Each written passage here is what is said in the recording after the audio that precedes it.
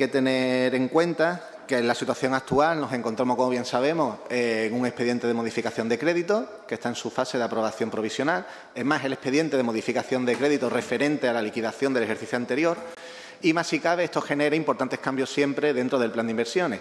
Cambios que se centran sobre todo en la liquidación de partidas de años anteriores de inversiones en las cuales queda un remanente consecuencia pues bien de adjudicaciones que al hacerse por un importe inferior al licitado pues hace que nos quede este remanente. Y esto supone una incorporación directa y extra al presupuesto de inversiones de 2021.